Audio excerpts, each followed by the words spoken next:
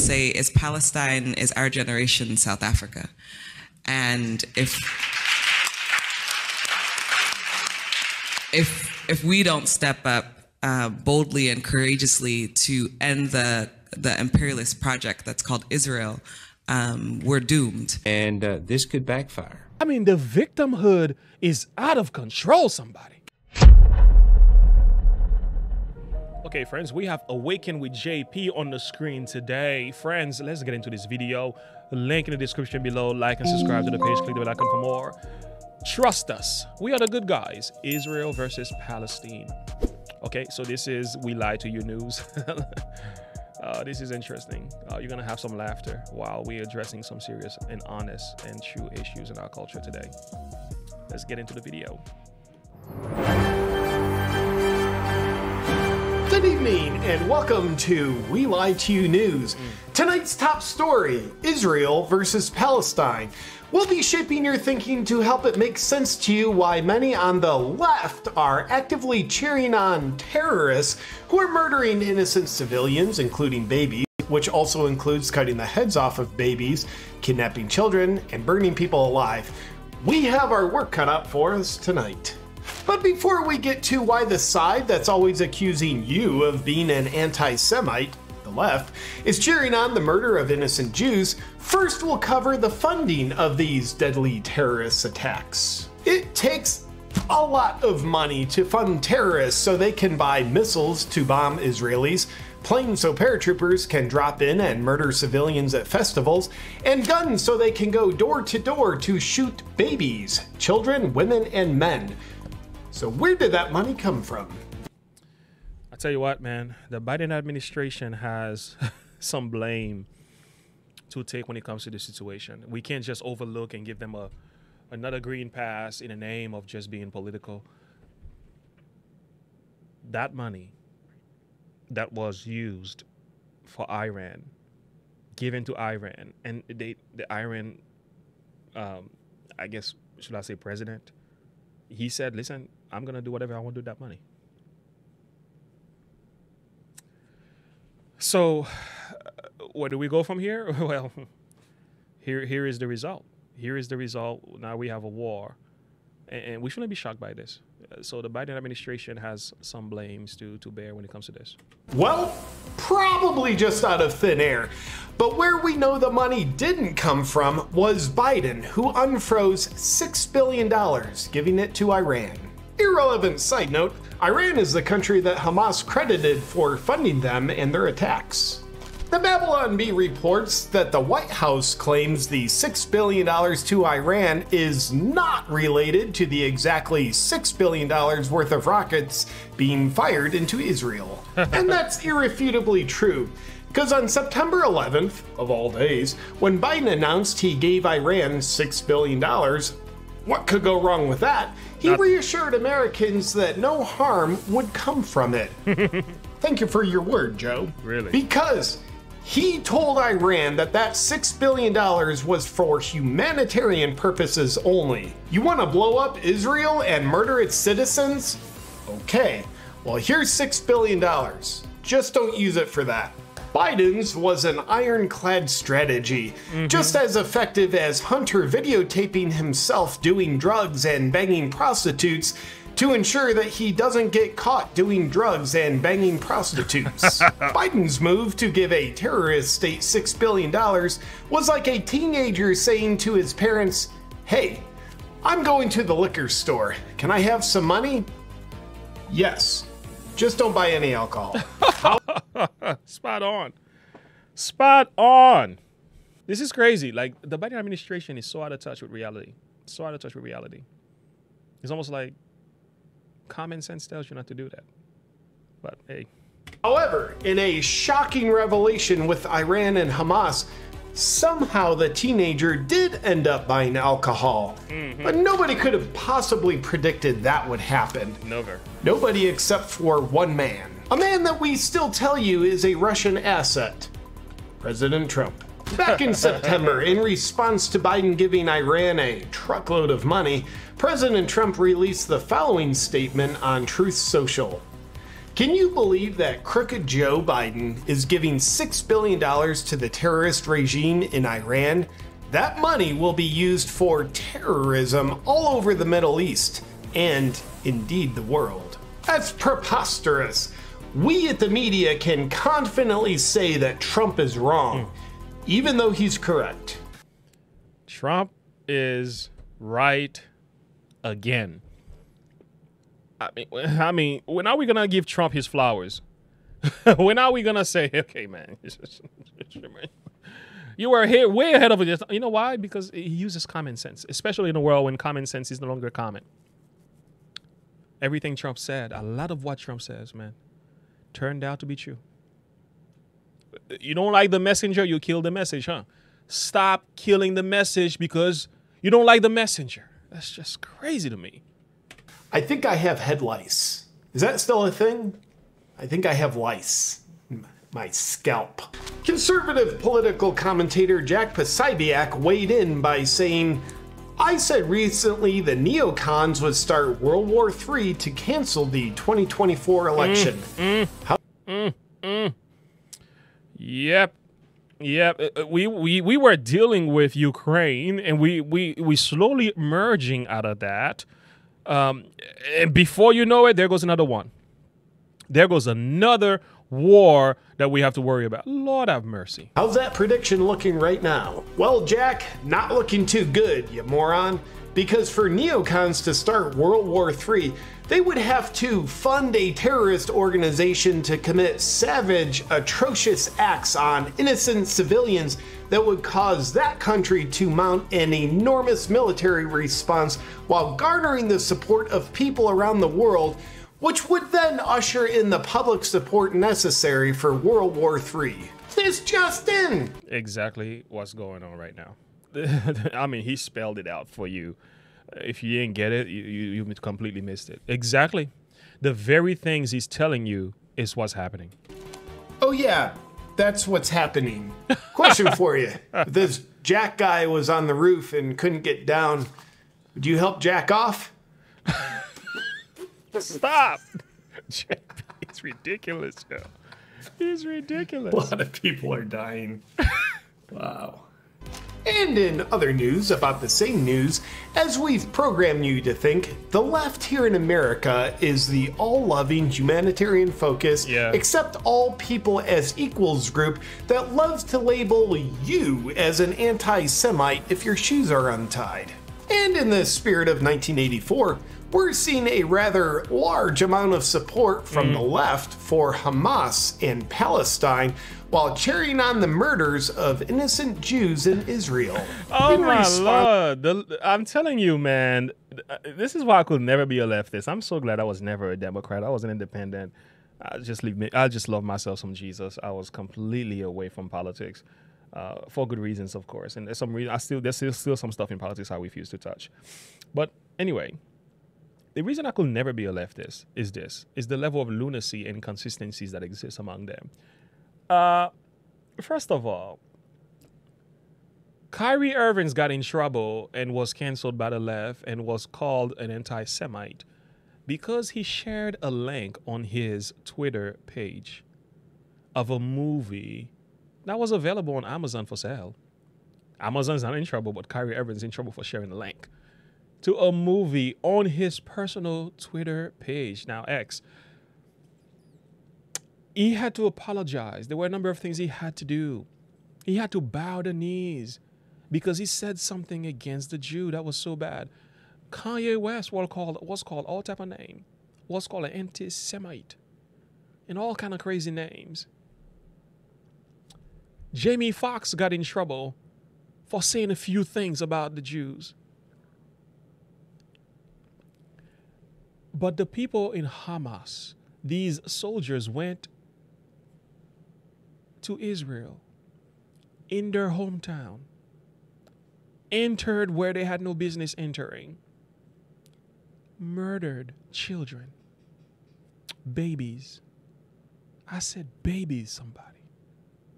I said babies, not, not soldiers, babies, teenagers at a party.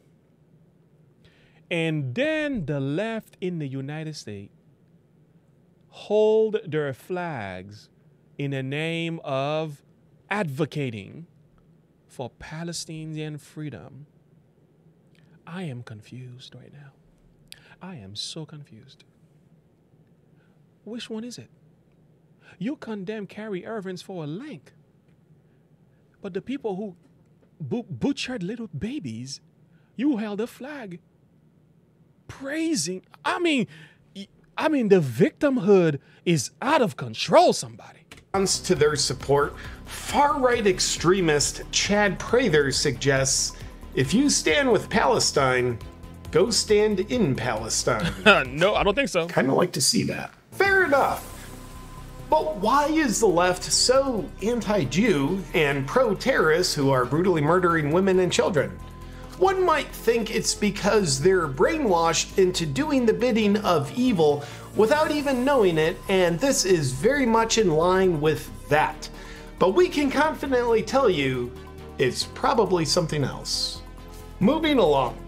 BLM has publicly come out supporting the Palestinian terrorists Hamas with their post of a drawing depicting one of the paratroopers that dropped in That's just crazy. This picture is a picture of an individual who is on his way to to to unalive individuals, unalive innocent people. But that's the picture you want to use to. I mean, again, we shouldn't be shocked. I'm not shocked because BLM has been very vocal. I, I put a video of Patrisse Cullors on my channel recently, showing, and I'm gonna sh- share a link on that, showing that they were saying they, were anti anti Semitic, and they got away with it because they're supposedly standing for Black lives. Like, are you serious right now? I'll say is Palestine is our generation South Africa. And if if if we don't step up uh, boldly and courageously to end the the imperialist project that's called Israel, um, we're doomed. And I think that uh, I had learned about Palestine for a long time.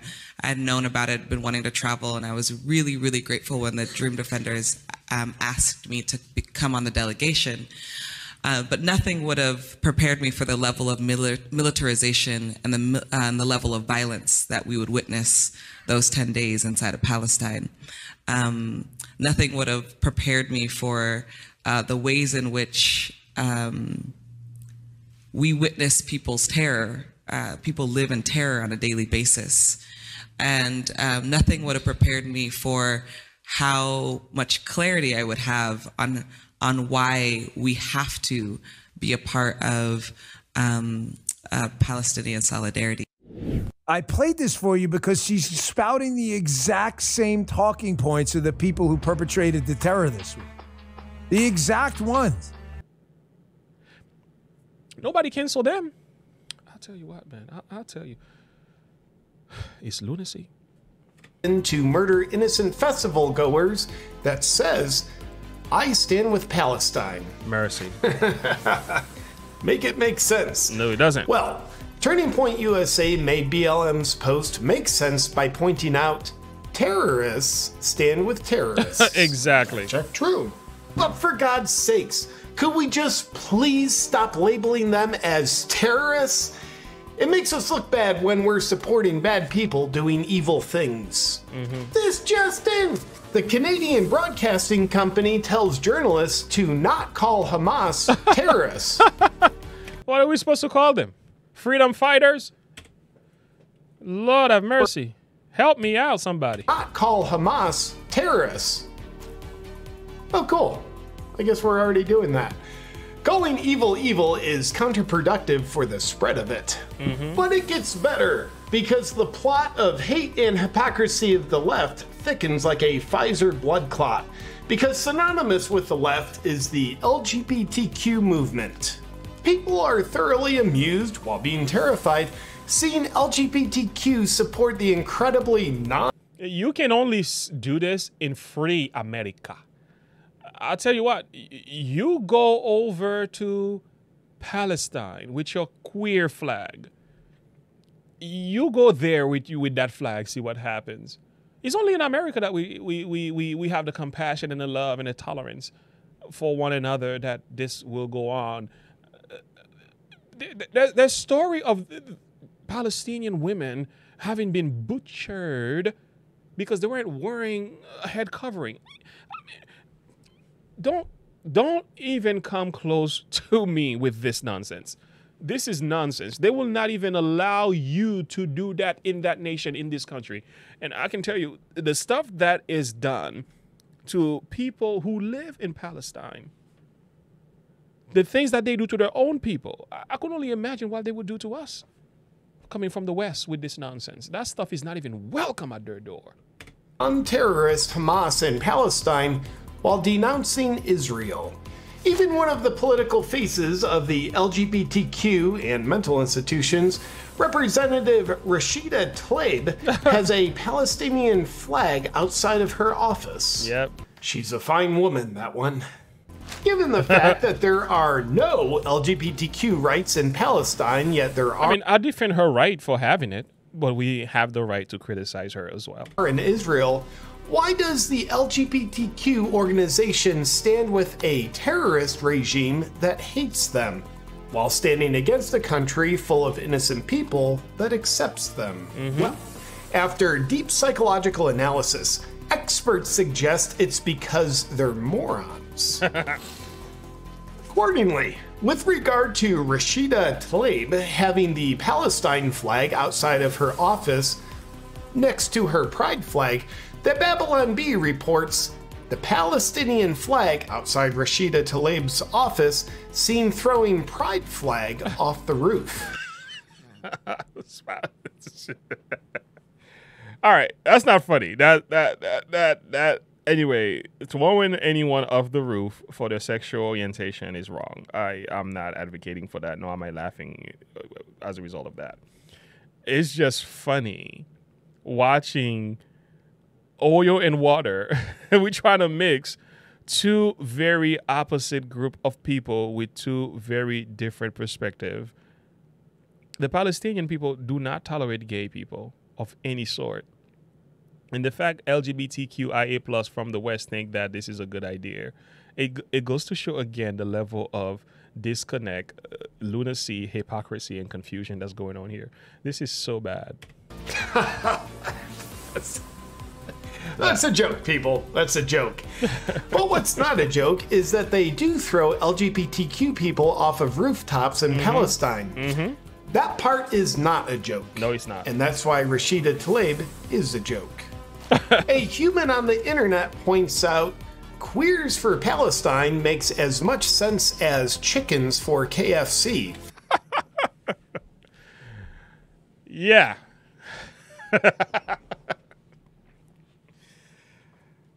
that that that is a good one. That is a really good one, JP. That's where we're at, ladies and gentlemen. This is what happens when you don't do your own thinking, which is great because we've got an agenda that we need to use you for, so keep up the great support. Let's hear more about the loving geniuses on the left supporting the violent savagery on Israelis. Well, the Babylon Bee once again reports that Harvard student leaves lecture on microaggressions to attend Kill the Jews rally. And here's a photo of liberals at an actual Kill the Jews rally in New York. Oh, these students are out of their minds. New York City. If you don't stand with Palestine, you're an anti Semite.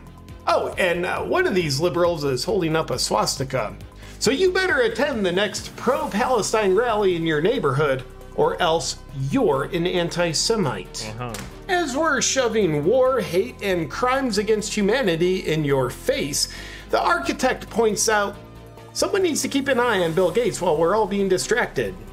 That's, that's probably actually a good idea. yeah. And lastly, Yeah. Israelis, a previously disarmed people, were left defenseless when Hamas terrorists were breaking into their homes to kidnap, rape, and murder.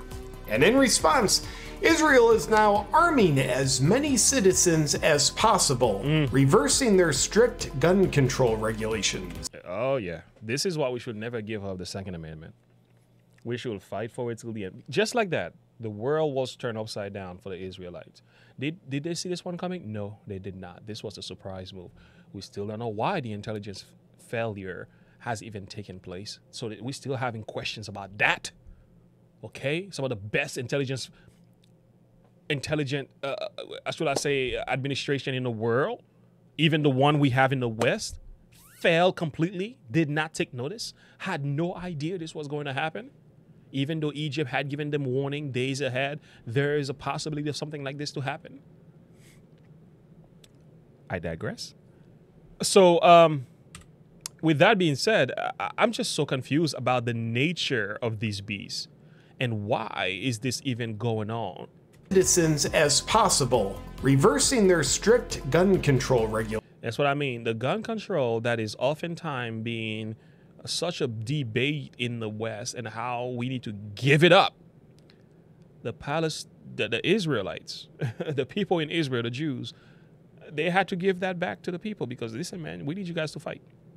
This is why the government should not be messing with this law. There's a reason why it's there. And that's why we should stand against any movement that's telling you to give it up. Do not go with this. It's a false dichotomy. It's a misconception. It's a deception. And it has dire consequences that will follow. Dire consequences. Because you just don't know when this stuff is going to be knocking at your door.